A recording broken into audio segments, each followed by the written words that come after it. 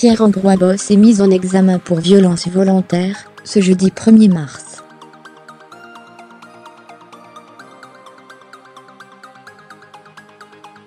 Le champion du monde du 800 mètres est accusé d'avoir porté les premières couleurs d'une violente altercation sur le parking de Gujan-Mestra, dans la nuit du 25 au 26 août 2017.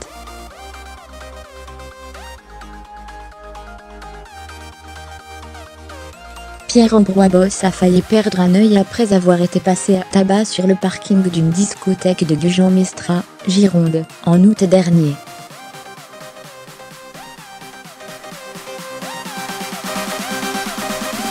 Ce 1er mars, il est pourtant mis en examen pour violence volontaire, accusé d'avoir jeté une canette de bière en verre sur un homme de 24 ans, a annoncé le parquet de Bordeaux.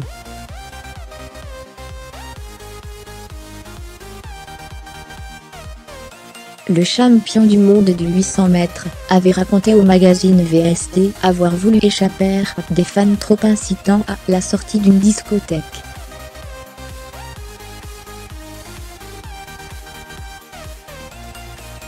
Il disait s'être réfugié dans sa voiture et avoir tenté de dialoguer avec les individus en baissant la vitre de l'automobile.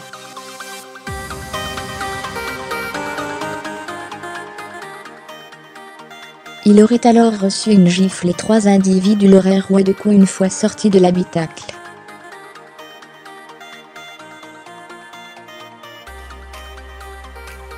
Hospitalisé avec plusieurs fractures à la tête, le sportif s'est vu prescrire 6 jours d'ITT et a diffusé une photo de son visage tuméfié sur les réseaux sociaux.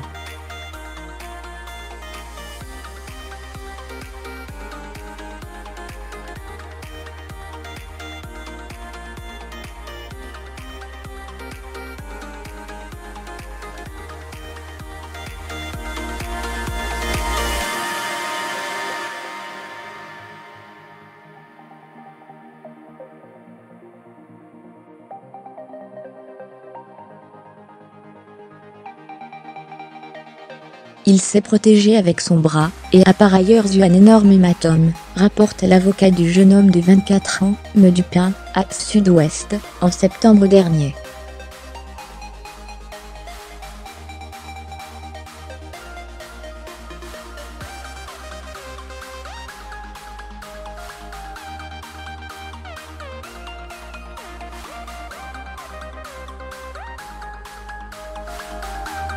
Trois mois après le dépôt de plainte, il ne se passait rien, alors que Pierre-Ambrois Boss a, lui, bénéficié de soutien au plus haut niveau de l'État, fustige M.